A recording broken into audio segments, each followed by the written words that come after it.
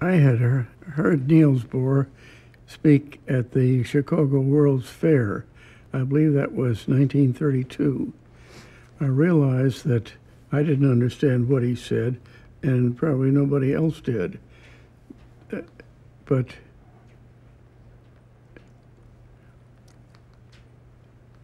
later, when I saw other occasions when audiences had the same trouble in understanding what Bohr said, I came to sympathize with the organization, the organizers of a meeting in Geneva.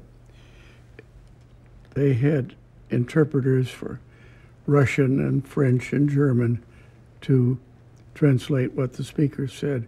But there was an, they'd added an extra one, one who would interpret Bohr's English in English that the audience could get.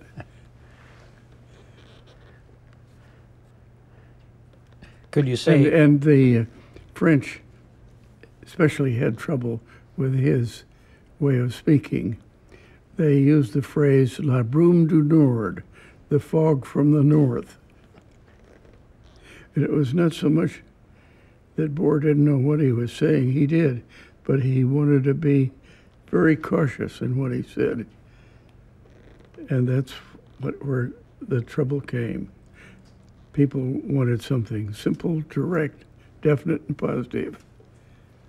That's the last thing he wanted to do.